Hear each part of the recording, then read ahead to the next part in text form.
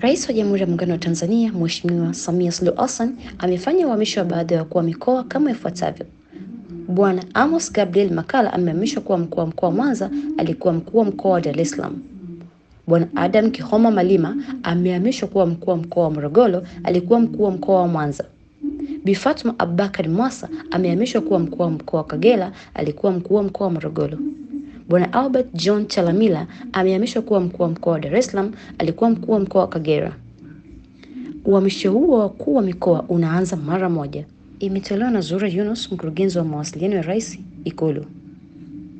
Hakikisha una subscribe chaneli yetu, gusa maandishi mekundu chini ya hii video, itatokea kengele. Gusa kengele hiyo mara moja tu, na utakuwa umejihakikishia kuwa wa kwanza kupata habari zote kwa haraka zaidi. Asante.